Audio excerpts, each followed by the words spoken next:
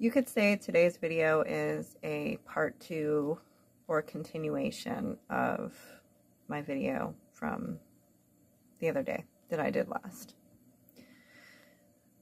I spent the last two days reading up on some more things and I'm glad I did because I actually found some stuff that was a little bit more important. It kind of ties it all together like an explanation on how that could even be possible, what I was talking about before. So I started off by doing some more research on like, you know, how big is the Internet of Things? Like how expansive is it? And to my surprise, it's huge. So I was reading about, you know, the Internet of Medical Things uh, so it's I-O-M-T. And they pretty much were talking about how everything is going to go into the cloud and how AI is learning from all of this, learning to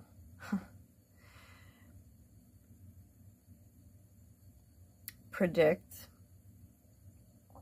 illness or epidemics, I guess, before they happen. So, after reading up on some of that stuff, you guys can find this all on the net. And I encourage you all to look it up for yourselves, just so that you can see for yourself that this is totally 100% for real. But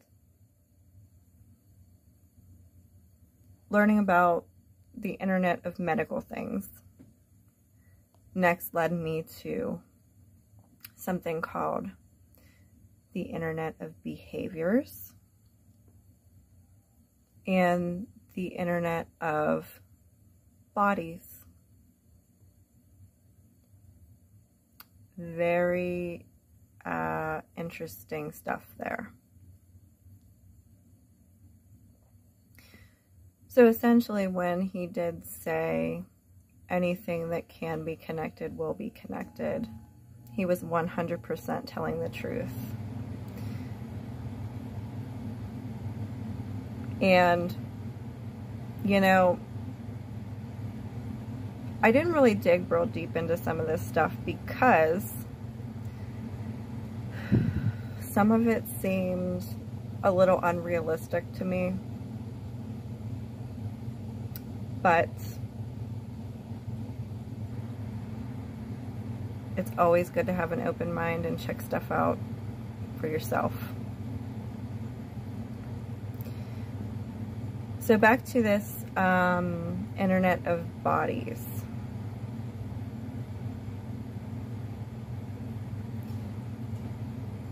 Their reasoning for doing so, doing this, is, you know, for the benefit of our health. And it is definitely possible with the technology and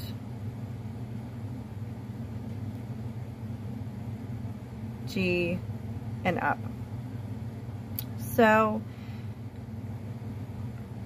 let me just show you a couple of things that I was reading about. Now remember guys, you all you have to do is go on DuckDuckGo.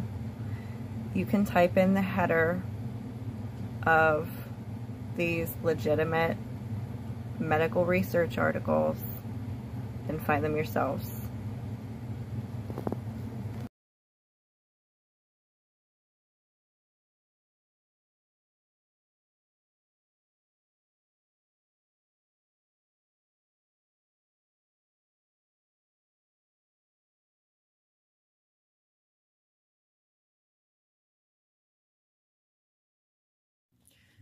So just think for a second.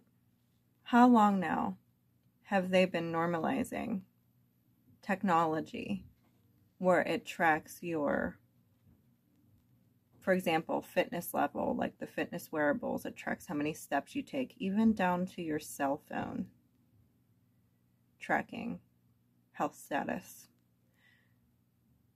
pacemakers, heart monitors, wireless connecting to the internet, big medical data. This is the next step, the next level, a whole nother level, I should say. But let me just show you this clip. 20th century, wireless technology integrated with the human body was nothing more than science fiction. But today, Wi Fi connected devices like heart rate monitors and sleep trackers have become common parts of American life. How has bionic technology evolved so quickly from science fiction to reality? And what could this Internet of Bodies mean for our lives moving forward?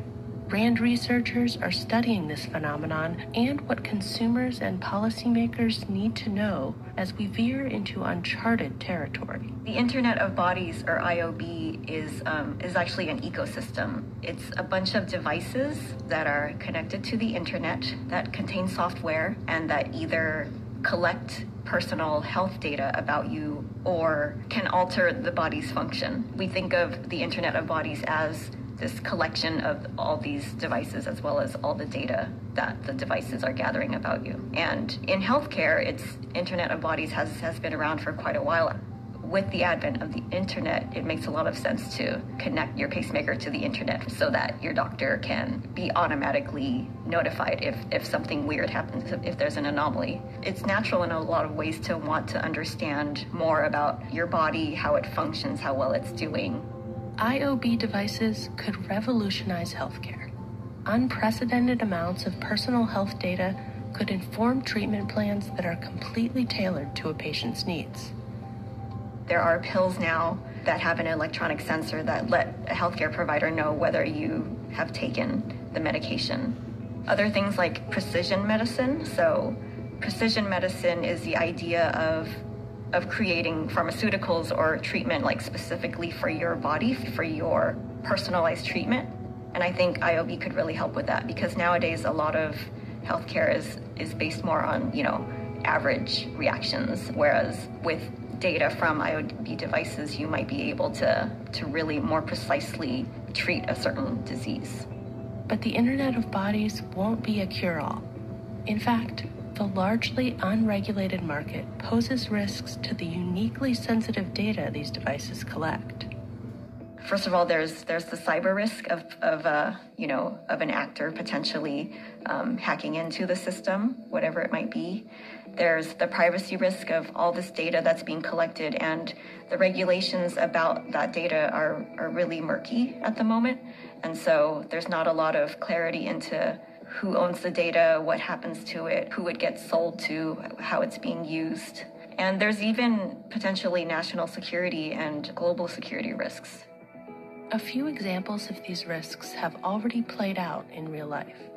For instance, in 2018, highly sensitive information about U.S. military activity and base locations was inadvertently revealed by soldiers' fitness trackers.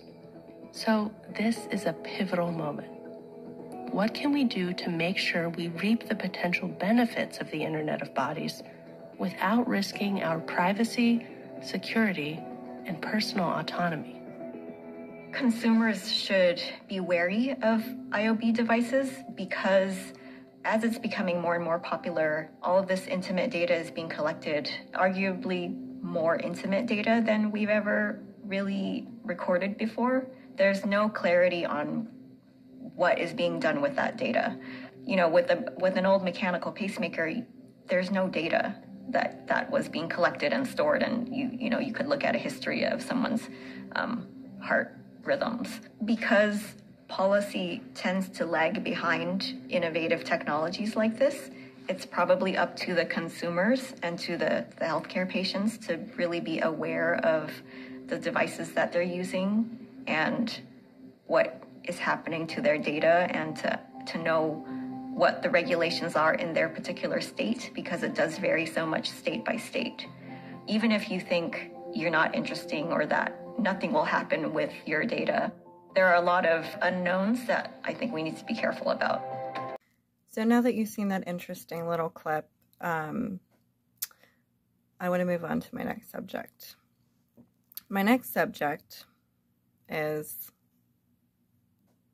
so, how does all this work? There's a missing link. Well, I found some more interesting things.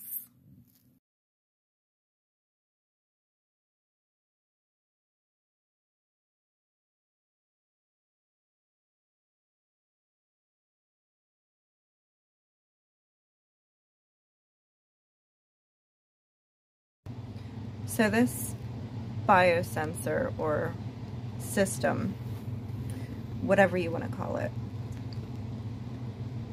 has many uses. I encourage you all to read up about it. You'll find lots of interesting things, more than what I can tell you in a 15 minute video. But anyways, um, its delivery is through lipid nanoparticles so that the body doesn't reject it. Where have we heard that term before?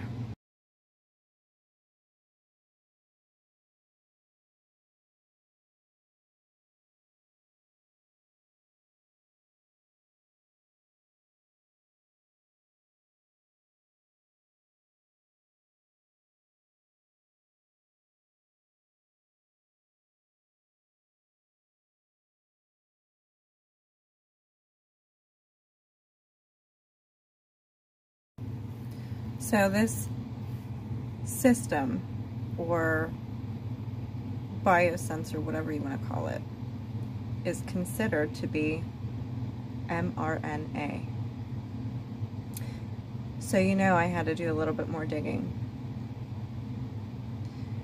especially with the way it was delivered.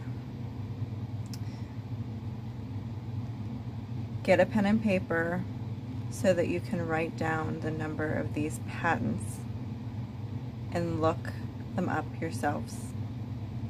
Here's what I found.